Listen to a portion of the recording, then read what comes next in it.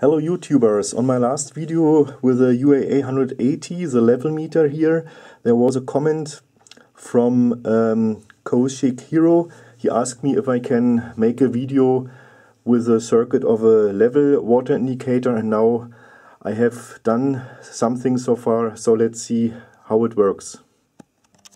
So what you see here now is my mechanical setup and also the electronic here with the IC and if I fill now here water into this little container here on the right side so let's see what happens. The level meter works so I am now at the maximum. And the question is now how did I build up this and how does the circuit work? You see now here the setup from the top view and um, what I did first I assembled here this arm to the axis of the potentiometer.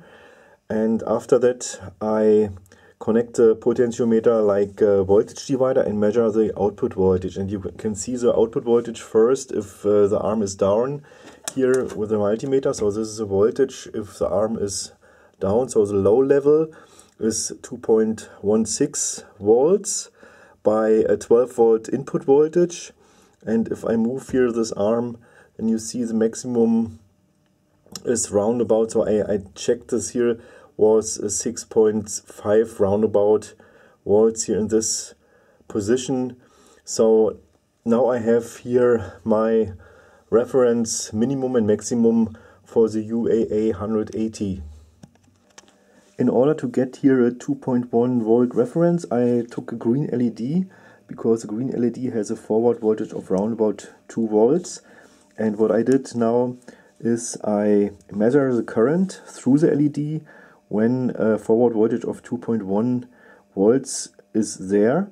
And I got here in my case 17.5 milliamps. And with, with this information into 12 volts I can calculate both resistance here for the upper reference so I need here a difference of 4 volts. I took here a 228 resistor. That means I have 220 ohms plus 10 ohms. And for this I take uh, a, a uh, 330 ohms plus 2 times 15 ohms in series. So I want to show you this now. You can see now here the green LED and here the white cable and the gray cable are the reference voltages and for the lower reference I uh, measure here with a multimeter, I can show you this 2.18 volts, so that's good. And if I connect the multimeter now to the other point, I have round about 6.2 volts. That's not exactly 6.5, but it's okay. Um, so with this little circuit I get here my two references for the UAA 180. Here in the circuit diagram you can see uh, the trim pot, the potentiometer is connected to pin 17 here as a voltage divider. And what I do now is I measure the voltage at pin 17 and um, you can see on the left side I am at 2.15 volt, that's exactly what the minimum reference is. And if I fill now again water here in this container, little container and I go up to the maximum like this, you see I'm below 6 volts.